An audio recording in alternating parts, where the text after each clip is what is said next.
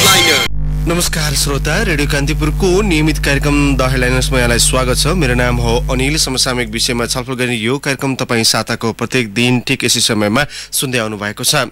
आजबाट नयाँ आर्थिक वर्ष सुरु भएको छ। सरकारले यो वर्षका लागि चौध खर्ब चौरात्तर अर्ब चौसठी करोड रुपियाँको बजेट ल्याएको छ। कोभिड नाइन्टिनले मुलुकको समग्र अर्थतन्त्रलाई शिथिल बनाइरहेका बेला आगामी बजेटको कार्यान्वयन चुनौती तथा सार्वजनिक क्षेत्रमा हुने आर्थिक अनियमितता र अपारदर्शिताका विषयमा कार्यक्रममा आज हामी केन्द्रित हुनेछौँ।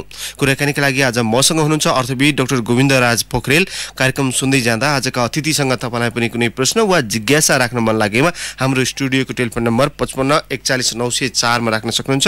कार्यक्रमका दौरान उठिसकेका प्रश्नलाई कृपया नटिपाउनुहोला।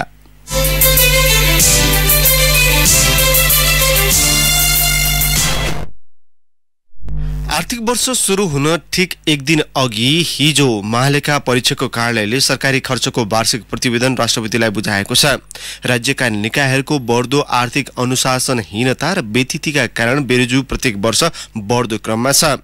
महालेखाको प्रतिवेदन अनुसार आर्थिक वर्ष दुई हजार पचहत्तर छयत्तरमा मात्रै छ खर्ब चौसठी अर्ब रुपियाँ बेरुजु पुगेको छ। बेरुजु सङ्घीय सरकारमा केही घटे पनि प्रदेश र स्थानीय तहमा यसको ग्राफ झन बढ्दो क्रममा छ। कोरोना महामारीको सङ्कटमा पनि असारे भुक्तानीले सीमा नागेकै छ। बजेट कार्यान्वयन आगामी वर्ष निकै कठिन हुने अर्थविदहरूले बताएका छन्। चौध खर्ब चौरात्तर अर्ब चौसठी करोड रुपियाँको बजेट ल्याएको सरकारले यो वर्ष सात प्रतिशतको आर्थिक वृद्धि गर्ने लक्ष्य राखेको छ। महालेखा परीक्षकको पछिल्लो तथ्याङ्क अनुसार पुँजीगत खर्च यो वर्ष पनि जम्मा सत्तालिस प्रतिशतको हाराहारीमा सीमित छ।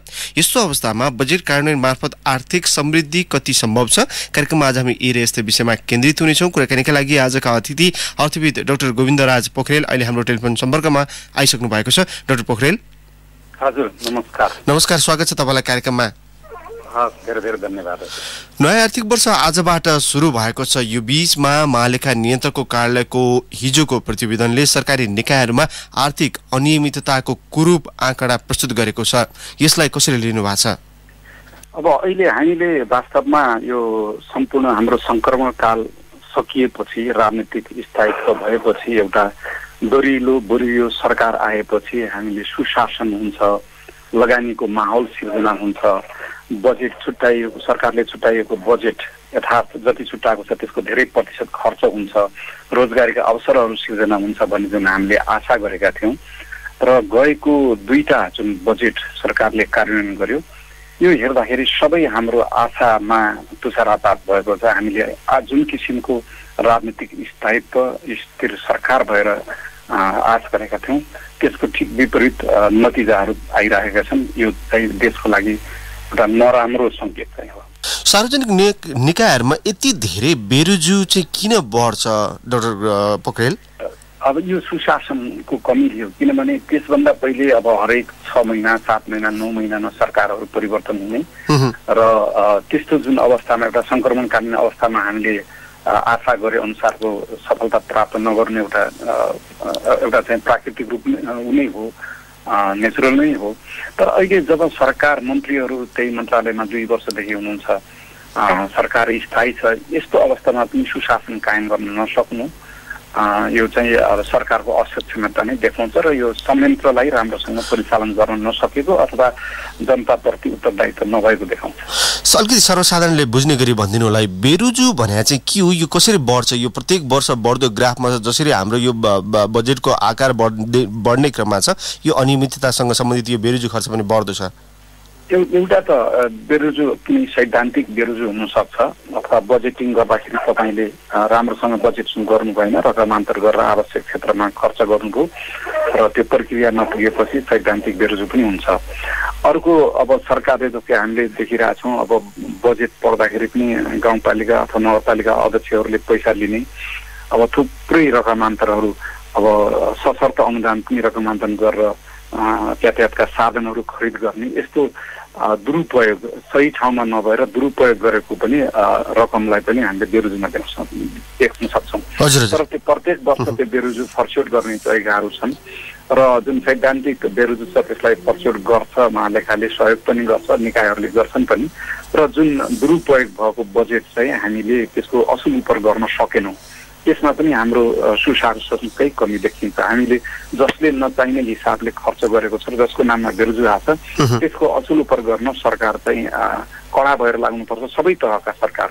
र त्यसमा पनि हाम्रो कमजोरी देखियो। कुनै व्यक्तिले राज्यको धन अनुचित रूपले खर्च गरेको छ भने त्यस्तो व्यक्तिबाट असुल उपर चाहिँ गर्ने निकायहरू चाहिँ मौन रहनु अथवा त्यसलाई चाहिँ जसको कुनै व्यक्ति अब सरकारी निकाय नै हुन्छ।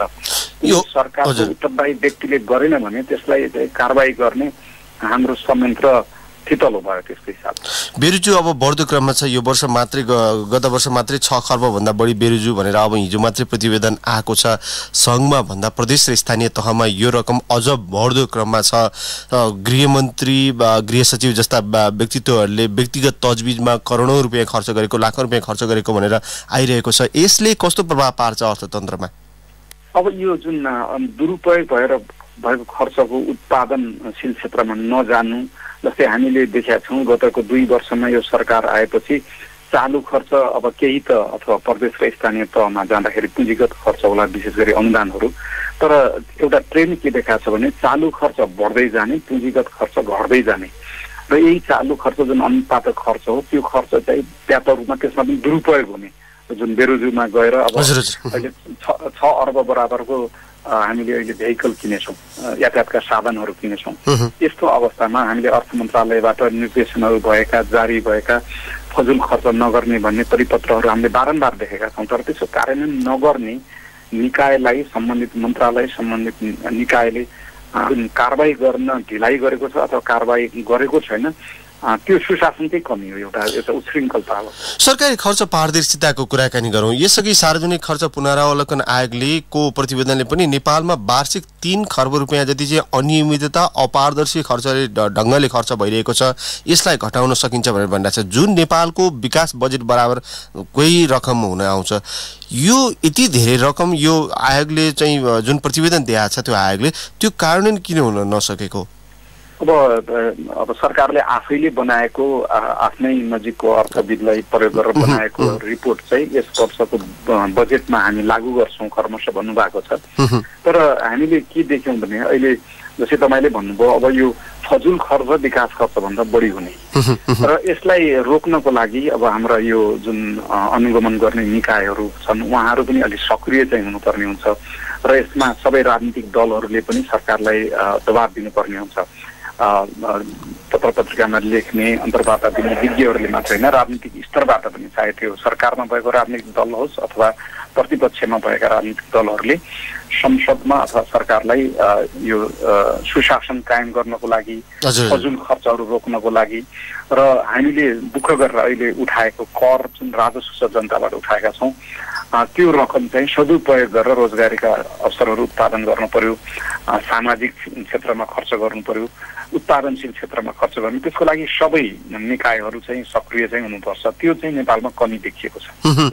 यो अब असारे भुक्तानीको कुराकानी गरौँ। यो वर्ष मात्रै छ। अब असार मसान्तसम्ममा हिजोसम्ममा दस खर्ब रुपियाँ हाराहारीमा खर्च भएको मध्ये दुई खर्ब त यो असारमा मात्रै खर्च भएको रहेछ। जुन झन्डै झन्डै यो खर्च भएको रकमको बिस प्रतिशत हाराहारीमा हुन आउँछ। यस्तो प्रविधिले विकास समृद्धिको आशा गरेर बसेर कहिलेसम्म यो बसिरहने अब हामीले मैले अघि नै भने हामीले गएको दुई वर्षमा एउटा विज्ञ विद्वान अर्थमन्त्री पायौँ हामीले। त्यो नेपालको लागि गौरव पनि हो। तर जुन हामीले आशा गरेका थियौँ जुन पहिलो बजेट उहाँले बनाएको बजेट करिब करिब दुई सय पाँच अर्ब खर्च भएन। र विकास खर्च पनि हामीले भने जति खर्च हुन सकेन। अब गएको नौ महिनाकै तथ्याङ्क हेर्नुपर्छ भने नौ महिनामा जम्मा पुँजीगत खर्च चौबिस प्रतिशत मात्रै भएको थियो। हामीले के आश गरेका थियौँ भनेदेखि यो सरकार आइसकेपछि विगतका जुन दसौँ वर्षसम्म फजुल खर्च हुने अथवा उत्पादनमूलक क्षेत्रमा खर्च नहुने अथवा सरकारले ल्याएको बजेट भने जति खर्च नहुने के कारणले कहाँ संरचनागत सुधारहरू कहाँ गर्नुपर्ने हो कहाँ नीतिगत अप्ठ्याराहरू छन् र सरकार स्थायी छ त्यो कुरामा हामीले सुधारको आज जुन आशा गरेका थियौँ जुन जनतालाई आवश्यक थियो। त्यो किसिमको सुधार चाहिँ हुन सकेन। र हामीले बजेट वक्तव्यमा हेर्दाखेरि पनि त्यसमा केही त्यस्तो आइहाल्छ कि भन्ने जुन हामीले आशा गरेको थियौँ देख्न सकिएन। त्यस कारणले न फजुल खर्च गर्न रोक्नको लागि बनाएको आयोगको निर्णय नै लागू गरियो राम्रोसँग। न हाम्रो संरचनाको क्षमता वृद्धि गर्ने संरचनामा सुधार गर्ने बेरोजोहरू घटाउने विकास खर्च चाहिँ अब यो असारै नगरेर अगाडि नै खर्च गर्ने जुन एउटा प्रक्रियागत थालनी हुन्छ भन्ने थियो। त्यसमा या उहाँहरूको क्षमता भएन उहाँहरूले चाहनु भएन उहाँहरू परम्परागत रूपमै सङ्क्रमणकाली अवस्थामा जस्तै देशलाई अगाडि बढाउनु भयो जसले गर्दाखेरि वैदेशिक लगानी पनि घट्यो रोजगारीका अवसरहरू सिर्जना भएन आर्थिक सुशासन पनि कायम भएन हाम्रो निर्यात पनि घट्यो आयात त अहिले अब रेमिटेन्स पनि घट्दैछ। विभिन्न कारणले गर्दाखेरि यो जुन सुधारको अपेक्षा राखिएको थियो त्यो दुर्भाग्यवश त्यो हामीले प्राप्त गर्न पोखरेलज्यू जस्तो अब यो हजुर संरचनागत सुधार गरे पनि आखिर परिणाम आउँदो रहेनछ कानुनमा सुधार गरे पनि आखिर परिणाम आउँदो रहेनछ राजनीतिक स्थिरता भए पनि आखिर परिणाम आउँदो रहेनछ सक्षम नेतृत्व अब अर्थविद आफैमा त्यत्रो कहलिनु भएको अर्थविद भए पनि परिणाम आउँदो रहेनछ। अब त्यो खर्च पुनरावलोकन आयोगले दिएको प्रतिवेदन त्यति राम्रो प्रतिवेदन दिए पनि त परिणाम आउँदो रहेनछ। के गर्यो भने चाहिँ सुधार हुन्छ होला? अब यो यो इच्छा शक्ति र भोक हो जुन तपाईँको विकास गर्ने तपाईँको कार्यान्वयन गर्ने जुन भोक हुनुपर्ने राजनीतिमा त्यो भोक चाहिँ हामीले देखेनौँ। यो यो चाहिँ अनौठो हो।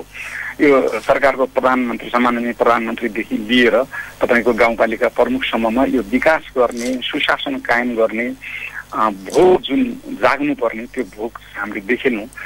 बरु उल्टै तपाईँले हेर्नुहोस् यस्तो स्थिर सरकार भएको बेलामा पनि हाम्रो ऋण चाहिँ नेपालीहरूको थाप्लोमा ऋण थपिसकेको छ। अब गत सालकै हेर्नुहुन्छ भने यो फागुनसम्मको करिब करिब एघार सय चालिस अर्ब जति हाम्रो ऋण छन् राष्ट्रको नाममा। अब यो वर्षै हामीले यो कोरोनाको कारणले होस् अथवा हामीले खर्च राजस्व परिचालन गर्न नसकेर होस् करिब करिब दुई सय बयासी अर्ब फेरि नेपालीहरूको थाप्लोमा चाहिँ ऋण थपिएको छ। अब आज यत्रो वर्षसम्म हामीले एघार सय चालिस अर्ब ऋण राखेका छौँ। अब एक वर्षमै दुई सय बयासी अर्ब थपियो। भन्दाखेरि पुँजीगत खर्च कम हुँदै जाने घट्ने चालु चालु खर्च बढाउने त्यसमा पनि थुप्रै बेरोजगार अनुत्पादक खर्च गर्दै जाने यतातिर नेपालीहरूको थाप्लोमा अब अनुदान कम हुने राजस्व परिचालन कम हुने तर ऋण चाहिँ थपिँदै जाने। यसरी भविष्य चाहिँ राम्रो देखाउँदैन यस कारणले हामीले के आश गरौँ भने आगामी दिनमा यो कोरोना भनेर सरकार नउम्कियोस् पाँच वर्ष लगाएको सरकारले यी जति पनि नकारात्मक कुराहरू जुन आएका छन् अर्थतन्त्रमा यसलाई सुधार पाटोतिर चाहिँ सरकार सुधारोस् भन्ने हामीले चाहिँ आशा गर्नुपर्ने सुधार चाहिँ कसरी हुन्छ त खोइ केही देखिएन अपेक्षा गर्ने ठाउँ नै देखिएन। अब अहिले पनि हामीले देखेका छौँ करिब करिब उहाँहरूले अब हुन त अनुदान छ त्यसमा थुप्रै अब चालु खर्च करिब करिब यो बजेटमा पनि नौ सय अडचालिस अर्ब जति राख्नु भएको छ। अब पुँजीगत खर्च गत सालभन्दा भन्दा छप्पन्न अर्ब घटाएर तिन सय बाहन्न अर्ब जति राख्नु भएको छ। अब यो ट्रेन्डलाई सुधार्नु पर्यो। यसलाई चाहिँ अब हामीले यो यो यो चाहिँ पुँजीगत खर्चतिर बढी लानु पर्यो। यो यो प्रक्रियालाई चाहिँ अगाडि बढ्नु पर्यो। अब राजस्व सङ्कलनमा कोरोनाभन्दा अगाडि पनि हामीले लक्ष्य हासिल गर्न सकेका थिएनौँ। गत सालको लक्ष्य पनि हामीले पुरा गर्न सकेका छैनौँ भले यो वर्ष अब कोभिड नाइन्टिनले प्रभाव पार्यो भनेर एउटा उम्किने बाहना त मिल्ला तर चैतभन्दा अगाडि पनि मुस्किलले तिस बत्तिस प्रतिशत खर्च भएको थियो पुँजीगत खर्च। हिजोसम्ममा सत्तालिस प्रतिशतमा मात्रै सीमित भएको छ। यस्तो कछुवा गति होइन त्यो तपाईँले हेर्नुहोस् गत साल पनि उहाँहरूले राजस्व करिब करिब नौ सय पैँतालिस अर्ब उठाउने भनेको आठ सय चालिस अर्ब मात्रै उठाउनु भएको थियो। गत साल कोरोना थिएन। होइन? त्यस कारणले अब वैदेशिक अनुदान जुन उहाँहरूले लक्ष्य राख्नुहुन्छ त्यसको एक तिहाई मात्रै गत साल पनि त्यति थियो यो साल पनि लगभग एक तिहाई मात्रै हामीले वैदेशिक अनुदान प्राप्त गरेका छौँ। तर हामी आन्तरिक ऋण लिनको लागि र अब वैदेशिक ऋण त यसपटक अब धेरै नै ऋण लिएर आउनु भएको छ। दुई सय उनान्सय अर्ब राखेकोमा करिब करिब एक सय एक्काइस अर्ब जति ऋण लिएर आउनु भएको छ। त्यस कारण यो ऋण थपिँदै जाने राजस्व कम हुँदै जाने फजुल खर्च बढ्दै जाने यी यो चाहिँ सकारात्मक तिर चाहिँ देश गइराखेको छैन सुशासन कायम भएको छैन भन्ने कुराहरू चाहिँ र सृजनशीलता सरकार हजुर हजुर हजुर यो आर्थिक कमी देखियो। आर्थिक अनियमितता जति अपारदर्शिताका कुरा छ विकास र समृद्धिको जुन अपेक्षा छ यो पुरा नहुनु भनेको एउटै कारण हो। मुलुकको विकास गर्ने राजनीतिक भोग जुन तपाईँले भन्नुभयो अहिले त्यो भोग नै नभएको कारण मात्रै हो। विकास गर्ने सुशासन कायम गर्ने र थुप्रै जुन इन्डिभिजुअल अथवा एउटा व्यक्तिगत विज्ञहरू हुन्छन् अथवा राजनीतिक दलहरू हुन्छन् त्यसका सुझावहरू नसुन्ने जुन एक किसिमको सरकारको एउटा चाहिँ चरित्र देखियो त्यो अवश्य पनि नराम्रो हो। हामी आशा गरौँ आगामी दिनमा धेरैजना मान्य मन्त्रीजीहरू अनुभवी पनि हुनुहुन्छ पढे लेखेको हुनुहुन्छ। उहाँहरूले यी यी तथ्याङ्क जुन हामीले प्रस्तुत गऱ्यौँ अथवा महालेखा परीक्षकले प्रस्तुत गऱ्यौँ अथवा बजेटमै देखाउँछ हामी कसरी गइराखेका छौँ भन्ने कुरा पत्र पत्रिकाहरूमा आइराखेका छन् यी कुराहरूलाई मनन गरेर कम्तीमा पनि अब आगामी आउने तिन वर्ष उहाँहरू सरकारमा हुनुहुन्छ। देशलाई सही मार्गमा चाहिँ डोर्याउनुहोस् र उहाँहरूमा भोक जागोस् विकास गर्ने भोक सुशासन गर्ने अपेक्षा चाहिँ गरौँ होइन? हजुर। अब आगामी आर्थिक वर्षको कुराकानी गरौँ जस्तो अब आजबाट नयाँ आर्थिक वर्ष सुरु भएको छ सरकारले चौध खर्ब चौरात्तर अर्ब चौसठी करोड रुपियाँ हाराहारीमा यो वर्षको बजेट ल्याएको छ। अब कोभिड नाइन्टिनले मुलुकको अर्थतन्त्रलाई शिथिल बनाएको छ। कतिको चुनौती छ आगामी दिनहरू? अब अहिले कस्तो छ भने अब सरकारको गएको दुई वर्षको कार्यक्षमता र दक्षतालाई हेर्दाखेरि अझ डरलाग्दो अवस्था जस्तो लाग्छ मलाई। तर हामी नेपाली सधैँभरि रेजिलियन्स छौँ हामी चाहिँ दरिलो छौँ हामी आफै पनि सरकारले केही नगरे पनि हामी गर्न सक्ने क्षमता राख्ने नेपालीहरू भएको हुनाले त्यस्तो नहोस् भन्ने कामना गरौँ। अब हामीले हेरौँ करिब करिब अब तथ्याङ्कै भन्छ करिब करिब पन्ध्र लाख ऋण लिएका मध्ये दस लाखभन्दा कम ऋण ऋण लिने मान्छे दुई तिहाई छन् अहिले। र यो अनि यो धेरै जुन गत सालको एउटा तथ्याङ्कले पनि देखाएको थियो जति पनि उद्यमी छन् हामीले देखाएको नौ लाख तेइस हजार जुन उद्यमी व्यवसाय छन् त्यसमा करिब करिब आधा चार लाख साठी हजार जति यो दर्ता नभइकन काम गरेका छन्।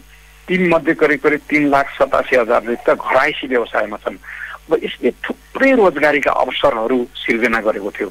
करिब करिब बिस लाख मान्छे यस्ता अब यस्तो अनौपचारिक जस्तै सडकमै व्यापार व्यवसाय गर्ने मान्छेहरू चौतिस चौतिस पैँतिस हजार व्यवसायीहरू छन्। यी सबै हाम्रो एउटा फर्मल अथवा एउटा औपचारिक नेटवर्कमा आउनु भएको छैन। उहाँहरूको व्यवसाय ढलिसकेको छ। अब ब्याङ्कहरूले पनि उहाँहरूलाई ऋण कुन हिसाबले जाने? उहाँहरू जानुहुन्छ सहकारी अथवा अन्यको ऋण लिनुहुन्छ जो धेरै महँगो छ अरू कमर्सियल अथवा विकास ब्याङ्क भन्दा अब त्यो जुन व्यापक रूपमा अनौपचारिक क्षेत्रमा रोजगारीका अवसरहरू सिर्जना गर्ने ब्याङ्किङ अथवा कर अथवा यो औपचारिक दायरामा नआएको व्यवसायहरूलाई सरकारले आगामी दिनमा कस्तो रणनीति लिन्छ बजेटमा हामीले त्यो देख्न सकेनौँ। र तिस तिनीहरूलाई जुन अब तङ्ग्रिने उपायहरू हामीले सोच्नुपर्ने हुन्छ बजेट कार्यान्वयनमा चाहे त्यो स्थानीय तहमा हुन सक्छ अथवा प्रदेशमा हुन्छ केन्द्रमा चाहिँ र हामीलाई एउटा फाइदा चाहिँ हामी सङ्घीयतामा गइसकेको हुनाले स्थानीय तहले सबैलाई चिन्छ। वडाको सरकारले आफ्ना उद्यमीहरू चाहे त्यो घरायसी उद्यमी हुन् अथवा औपचारिक क्षेत्रमा हुन् अनौपचारिक क्षेत्रको सबैलाई चिन्ने भएको हुनाले हामीले एउटा फाइनेन्सियल प्याकेज बनाएर यो अहिले कोरोनाको कारण चाहिँ सुत ढलेका जुन उद्यमीहरू छन् सडक व्यापारीहरू छन् जसले व्यापक रूपमा अनौपचारिक क्षेत्रमा रोजगारी सिर्जना गर्थे यिनलाई पनि ध्यान दिउँ। र अर्को कुरा अहिले खपत कम भइरहेको छ। मान्छेहरूको हातमा पैसा छैन। अब हामीले अस्ति एउटा हिसाब पनि गरेँ करिब करिब पाँच लाख परिवारलाई तपाईँले एउटा सृजनशील उपाय नै हो पाँच लाख परिवारलाई परिवारको आकार हेरिकन पाँच हजारदेखि पन्ध्र हजारसम्म तपाईँले तिन महिनासम्म ऋण दिनुहोस्। जो उसले दुई वर्षपछि एक वर्षपछि निर्व्याजी रूपमा स्थानीय सरकारलाई तिर्न सकोस्। र पाँच लाख परिवारको हातमा पैसा त्यसको लागि त्यसको लागि पनि त क्षमता हुनु पर्यो नि त सरकारसँग। हामी हामीले करिब करिब अहिले प्रधानमन्त्री रोजगारी कोषमा हामीले तेह्र अरब छुट्याएको छौँ यो यसले करिब करिब हामीले हिसाब गर्दाखेरि पाँच लाख परिवारलाई हामीलाई महिनाको करिब पाँच अर्ब मात्रै भएर पुग्छ। तर त्यो ऋण हो स्थानीय सरकार मार्फत हामीले दिन सक्छौँ। अर्को वर्ष चाहिँ उहाँहरूले तिर्न सकोस् महिना अब किस्ता बन्दिन दस बाह्र महिनामा। त्यसले गर्दाखेरि जनताको हातमा पैसा हुन्छ बेरोजगार व्यक्तिको हातमा पैसा हुन्छ र उसले खपत बढाउँछ। खपत बढाएपछि हाम्रा आफ्ना उत्पादनहरू बिक्री हुन्छन् बजारमा र त्यो उत्पादन हुने गर्ने साथीहरूलाई पनि अब सहुलियत ऋणहरू अब पुनर्कर्ता सरकारले त्यो सानो सानोसम्म पनि पुग्ने अब मोनिटरी पोलिसीले लिएर आउला योतिर ध्यान दिनु पर्यो जसले गर्दाखेरि अर्थतन्त्र चलायमान भएर आर्थिक गतिविधि पैसाको चाहिँ फ्लो बढोस्। एउटा अपेक्षा चाहिँ गरौँ। कम्तीमा मौद्रिक नीतिले यो विषयलाई सम्बोधन गरोस् भनेर होइन? सरकारले पनि वास्तवमा अब यो बजेट भन्ने देशको लागि हो अब बजेट बन्यो फेरि चेन्ज गर्न सकिन्न भन्नुहुन्न। अब यो कोरोनाको कारणले सरकारले अलिकति रिभाइज पनि अथवा परिवर्तनमा सुधार गर्न पनि सक्छ। त्यस कारण केही सृजनशील उपायहरू अपनाउन् जसले गर्दाखेरि जुन घटिरहेको रेमिटेन्स छ किनभने हाम्रो रेमिटेन्स जुन हाम्रो विप्रेषण आउँथ्यो विदेशबाट पैसा ल्याउनुहुन्थ्यो त्यसले बढाएको खपतले गर्दाखेरि हाम्रो आयात बढाएको थियो जसले गर्दा राजस्व पनि बढाएको थियो। र आन्तरिक रूपमा सेवा क्षेत्र हेर्नुहोस् होटेलहरू यो यातायात क्षेत्रहरू व्यापक रूपमा हवाई क्षेत्रहरू खपत कारणले गर्दाखेरि उहाँहरूको गतिविधि पनि बढाएको थियो रोजगारीका अवसर कति जति आर्थिक क्षति भयो होला यो बिचमा केही तपाईँले त हुन त अध्ययन पनि गर्नु भएको थियो यो छुट्टै होइन? अब यसो छ अब कस्तो छ भने अब अहिले अब वैशाख मसानसम्मको मात्रै एक अब अलिकति मात्रै निकाल्नु भएको थियो उहाँहरूले एक खर्ब एकतिस अरब भनेर केन्द्रीय तथ्याङ्क विभागले। तर मेरो अब यो अनुमानित धेरै तथ्याङ्कहरू आएको छन् हामीले अध्ययन त गरेका छैनौँ तर असार मसानसम्म हामीले ठुलै आकारमा अर्थतन्त्रको ठुलै आकारमा अनौपचारिक र औपचारिक क्षेत्रमा अब यो क्षति पुगेका छौँ म ठ्याक्कै तथ्याङ्क आफूले अब अहिले नभनौँ तर मैले देखेँ ठुलै आकार अर्थतन्त्रको धेरै प्रतिशतको आकारमा सायद अब तथ्याङ्क विभाग राष्ट्रिय योजना आयोगले यो बारेमा निकाल्नु होला। र मैले अनुरोध पनि गरेको राष्ट्रिय योजना आयोग र तथ्याङ्क विभागले कम्तीमा प्रत्येक महिनामा कोरोनाबाट अर्थतन्त्रमा कति क्षति भयो र आगामी रणनीति के हुनुपर्छ भन्ने निकालिएको भए सरकार र निजी क्षेत्रलाई एउटा मार्गदर्शन हुन्थ्यो। हामी यो डिरेक्सनमा यो दिशामा गइराखेका छौँ। हामीले यस्ता गतिविधि गर्नुपर्ने रहेछ भनेर नीतिगत कुराहरू बनाउन र निजी क्षेत्रलाई आफ्नो लगानी परिचालन कसरी गर्ने व्यवस्थापन कसरी गर्ने भन्ने एउटा एउटा चाहिँ उहाँहरूलाई उपाय निक्लिन्थ्यो त्यो तथ्याङ्क विभाग र राष्ट्रिय योजना आयोगले त्यसमा अलिक ढिलाइ सृष्टि गर्नुहुन्न त्यो चाहिँ गर्नुपर्छ। आगामी दिनमा प्रत्येक महिना तर अहिलेसम्ममा आउन सकेको छैन त्यो? कति छ भनेर त्यो चाहिँ निकाल्नु हजुर अब यो बजेटले निर्धारण गरेको दुईटा लक्ष्य जुन महत्त्वकाङ्क्षी पनि छ भर्खरै तपाईँले अब यो रोजगारीदेखि लिएर यो गरिबीसँग सम्बन्धित जुन कुराहरू भन्नुभयो अहिले अब सरकारले यो बिचमा पनि कति धेरै कन्फिडेन्टका साथ चाहिँ सात प्रतिशतको आर्थिक वृद्धि गर्ने भनेर सरकारले जुन लक्ष्य राखेको छ सात लाख हाराहारीमा युवाहरूलाई रोजगारी दिने भनेर जुन लक्ष्य राखेको छ यो दुईटा लक्ष्य पुरा हुने सम्भावना के देखिन्छ? अब लक्ष्य त अब अब राख्न पाइयो। अब तपाईँको यो वर्ष नै अब जिरो आर्थिक वृद्धि दर हुने अब जिरो पोइन्ट पाँच प्रतिशत हुन्छ भन्नेसम्म आइसक्यो। जिरो आर्थिक प्रतिशत वृद्धि दर यो वर्ष भयो भने अर्को पटक त्यो लो बेसमा सात प्रतिशत गराउनलाई राम्रो काम गर्यो भने असम्भव होइन। तर त्यो आर्थिक वृद्धि दर तपाईँ कुन आधारमा? अब तपाईँको यो वर्ष जिरो हुने त्यो जिरोमा अर्को तर्फ चाहिँ अर्को वर्ष धेरै हुने भनेर देखाएर त्यस्तो भन्दा पनि रोजगारीका अवसरहरू सिर्जना गर्नलाई सृजनशील उपायहरू अपनाउनु पर्यो। र मुख्य कुरा भनेको यो साना तथा मझौला उद्योगहरू जुन अहिले ढलिसकेका छन् आफ्नो व्यक्तिगत लगानीबाट गरेका उद्योगहरू ढलेका छन् यिनीहरूलाई तङ्ग्रिने उपायहरू सरकारले तुरुन्तै सुरु गर्नु पर्थ्यो जुन चाहिँ हामीले देखिरहेका छैनौँ धेरै मुलुकहरूले बिचमा आर्थिक प्याकेजका थुप्रै कार्यक्रमहरू लिएर आए तर हाम्रोमा त्यस्तो केही सम्भावना देखिएन। बजेट आयो बजेटले पनि त्यस्तो सम्बोधन गर्न सकेन भनेर आलोचना मात्रै भयो। हो मैले भनेको सरकारले एक रुपियाँ खर्च गर्दाखेरि पाँच रुपियाँको आर्थिक गतिविधि कसरी हुन्छ भन्ने त्यस्ता सृजनशील औजारहरू संसारमा प्रयोग गरेका छन्। भले हाम्रो अर्थतन्त्र कमजोर छ। तर हामीले अहिले दुई सय बयासी अर्ब रुपियाँ ऋण लियौँ अब पाँच अर्ब ऋण थपेर थप पाँच अरबले पच्चिस अर्ब उत्पादन गर्छ भने त्यतातिर सोच्दाखेरि नराम्रो चाहिँ हुँदैन। त्यस कारणले यो अलिकति सृजनशीलताको कमी जस्तो मलाई लाग्छ। उहाँहरू कार्यक्षमतामा पनि कमी भएको नीतिगत सुधार गर्नमा पनि उहाँहरूमा सृजनशीलता आएको र सृजनशील औजारहरू प्रयोग गरेर देशमा अब औपचारिक रूपमा अनौपचारिक रूपमा ऋण लिएर आफ्नो खुट्टामा उभिएर सरकारलाई कर तिरेर रोजगारीका अवसरहरू सिर्जना गरेर अर्थतन्त्रलाई चलायमान गराउने जुन वर्गको पीडा यदि हामीले सुन्न सकेनौँ भने सरकारका यी लक्ष्य सबै पुरा हुँदैनन् र सरकारले जुन नम्बर छप्पन्नमा हो कि कति चाहिँ एउटा विद्यार्थीले निबन्ध लेखे जसरी हामी यो क्षेत्रमा यसरी रोजगार गर्छौँ भने त्यसरी रोजगारीका अवसरहरू सिर्जना हुँदैनन्। तालिम दिएर रोजगारीका अवसरहरू सिर्जना हुने होइनन्। तालिमले त रोजगारीका अवसरहरू प्राप्त गर्नलाई एउटा क्षमता मात्रै वृद्धि गर्ने हो। त्यसको लागि उहाँहरूको लगानीमा पहुँच हुनु पर्यो बजारमा सहजीकरण गरिदिनु पर्नु पर्यो त्यो किसिमको स्थानीय लगानीलाई बढावा दिने किसिमको नीतिगत माहौल बनाइदिनु पर्यो तब मात्र रोजगारीका अवसर हजुर डाक्टर पोखरेल तपाईँलाई केही बेर कार्यक्रममा रोक्नुपर्ने बेला भएको छ। अब हामी ब्रेकतर्फ जाँदैछौँ। ब्रेकपछि केही श्रोताका प्रश्नसहित हामी थप छलफल गर्नेछौँ। कृपया छोटो समयका लागि टेलिफोन सम्पर्कमा रहिदिनु न म यहाँलाई आग्रह गर्दछु कार्यक्रममा अहिलेलाई छोटो ब्रेक। ब्रेकपछि कार्यक्रममा यहाँलाई पुनः स्वागत छ। कार्यक्रममा आज हामीले अर्थविद डाक्टर गोविन्द राज पोखरेलसँग चालु आर्थिक वर्षको बजेट कार्यान्वयनको चुनौती सरकारी निकायहरूको खर्च पारदर्शिता लगायतका विषयमा केन्द्रित भएर छलफल गरिएका छौँ। डाक्टर पोखरेल यहाँलाई पुनः स्वागत छ कार्यक्रममा। म तपाईँलाई केही श्रोताको प्रश्नतर्फ लिएर जान चाहन्छु। छविलाल खतिवडाले सोध्नु भएको छ झापाबाट सानु योजनले भक्तपुरबाट पुरुषोत्तम पोखरेलले चापागाउँबाट सुदर्शन रेग्मीले स्वयम्बुबाट उहाँहरू सबैजनाको एउटा एउटै आशयको प्रश्न छ। बेरुजु बढ्यो भनेर वर्षेनी महालेखाको प्रतिवेदन त आउँछ तर अनियमितता कहिल्यै घट्दैन। नियामक निकायले पनि ध्यान दिएको जस्तो देखिँदैन। मर्ने भने त सर्वसाधारण जनता नै हो नि है भनेर सोध्नु भएको छ। अब अब हामीले यहाँले साथीहरूले धेरै राम्रो प्रश्न उठाउनुभयो। यो नियामक निकायहरूले पनि ध्यान दिनुपर्ने हुन्छ। र यो सबै राजनीतिक दलहरूमा प्रतिपक्षलाई पनि आह्वान गर्छु। हरेक स्था अहिले हामी तिन तहको सरकार छौँ। सबै ठाउँमा प्रतिपक्ष र सरकारको उपस्थिति छ। राजनीतिक दलहरूले पनि यसलाई तदारुकताका साथ यसलाई अलिक सिरियसली लिनु पर्यो र हामीले मैले भने नि यो जुन ऋण खोजेर अब एउटा एउटा चाहिँ अब टिनले छाएको घरलाई तिन सय रुपियाँ चार सय रुपियाँ वार्षिक कर उठाएर जनताबाट उठाएको करलाई चाहिँ जुन एक प्रकारको बेरोजु छन् अब त्यसमा अनियमितता पनि होला कुनै सैद्धान्तिक बेरोजु पनि होला। त्यसलाई सरकारले जस्तै एउटा यो सार्वजनिक खर्च पुनरावलोकन आयोग बनाए जस्तै एउटा यो बेरोजुलाई चाहिँ उठाउने अथवा यसको नियमित गर्ने एउटा छुट्टै एउटा कार्यदल बनाएर अगाडि बढ्नुपर्छ। हामीले त्यसको लागि दबाब पनि दिनुपर्ने हुन्छ। रमण अधिकारीले सोध्नु भएको छ सिना मङ्गलबाट मेनुका रम्तेलले भोजपुरबाट रामकृष्ण श्रेष्ठले इमाडोलबाट। जुनसुकै नेतृत्वमा पुगे पनि आर्थिक गतिविधिमा पारदर्शिता गर्न सकिँदो रहेनछ।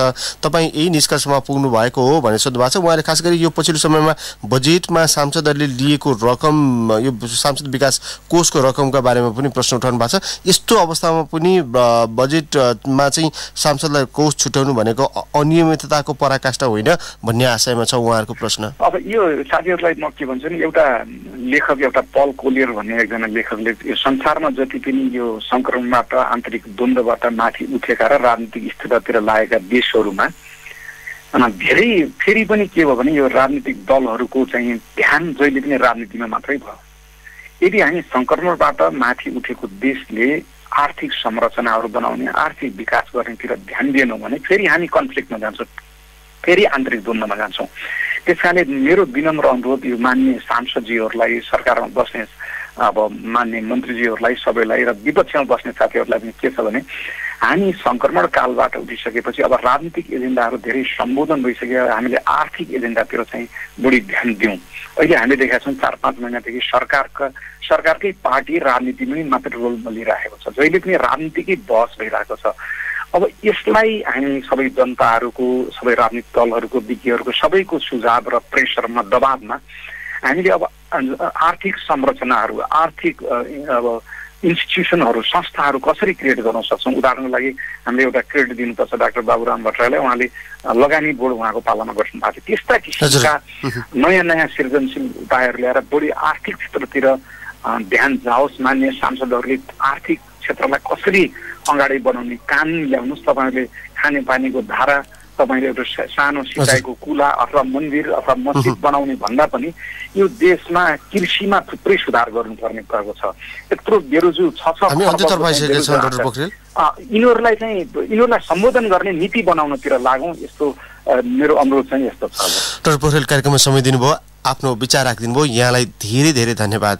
र कान्तिपुर एफएम कान्तिपुर एफएमका श्रोता र मलाई प्रश्न सोध्नुहुने सम्पूर्ण साथीहरूलाई धेरै धेरै धन्यवाद नमस्कार हवस् त आजका लागि कार्यक्रमको समय यहीँ सकिएको छ कार्यक्रममा आज हामीले अर्थविद डाक्टर गोविन्दराज पोखरेलसँग मुलुकको चालु आर्थिक वर्षको बजेट कार्यान्वयन सरकारी निकायहरूको खर्च पारदर्शिता लगायतका विषयमा केन्द्रित बारे छलफल गऱ्यौँ कार्यक्रममा प्रश्न टिपाउने र सुनेर साथ दिने तपाईँ श्रोतालाई धेरै धेरै धन्यवाद। फरक प्रसङ्ग र अतिथि लिएर कार्यक्रममा भोलि हामी फेरि आउनेछौँ। आजको कार्यक्रमबाट न्युज डेस्कका सबै सहकर्मीसहित प्राविधिक साथी नवराज भण्डारी र सागर खड्का सहित म अनिल परियार बिदा माग्छु। नमस्कार।